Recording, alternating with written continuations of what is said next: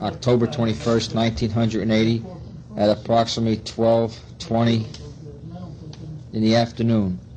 Call was made by S.A. Joseph D. Pistone, utilizing the name Donnie Brasco from telephone number 813-938 to telephone number 212-383.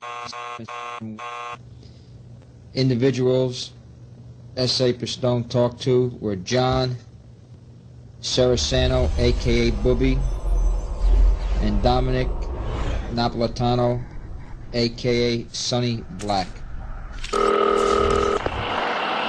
Hello? Bob, Yeah. Donnie, Yeah, Don. what's going on? How are you, pal? All right, how are you? How's Florida? well, come down and visit. You must be used to it by now. Yeah, well, I'm waiting for you to come back. Well, you see, I, now I'm about ready to come back. Well, I what- mean, because these uh, visits once in a great while. Yeah, yeah, yeah. It's actual. Alright. Yeah. There you go, you little whippersnapper, quit the chatter and get to the shit that actually really matters. Like, where do you work? And do they give you benefits? It's evident that your head is filled with excrement. You aren't intelligent, and you kinda smell like shit. Quit acting smart, cause you aren't nothing but irrelevant. And I'm telling it to the numerous stupid kids who are just constantly thinking that I'm humorous. It's all just if the music fits. Say no to protuberance, and then go ahead and adjust whose shoe it fits. Then find out who the hell is proving this. Quit being such a nuisance, kid. So go ahead and try to stop me. Stop. Yeah, yeah.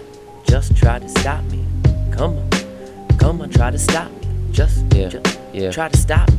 I am an artist from the darkest part of my realm. If you're looking for direction, I'll take hold of the helm. What I say, I really hope it doesn't overwhelm yourself with the plans you have made. Everything's going well, so go ahead and snitch like Valachi. You got me? Don't make me laugh, Mr. Sloppy. You really think I will be caught as easy as a crappie? Yeah, right.